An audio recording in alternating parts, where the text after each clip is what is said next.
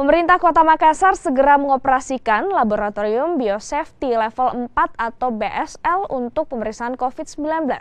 Laboratorium PCR ini menurut rencana akan beroperasi selama 24 jam. Laboratorium PCR yang berada di Rumah Sakit Umum Daerah Daya ini kini pembangunannya telah rampung dan segera beroperasi. Laboratorium Biosafety level 4 ini bisa mendeteksi jenis varian baru hasil mutasi COVID-19. Saat meninjau, Wali Kota Makassar Muhammad Ramdan Pomanto atau Dani Pomanto meminta laboratorium ini beroperasi selama 24 jam. Akan hasil pemeriksaan cepat diketahui. Laboratorium BSL level 4 ini dapat memeriksa 1.200 sampel dalam sehari. Kini laboratorium ini hanya menunggu izin operasional dari pemerintah provinsi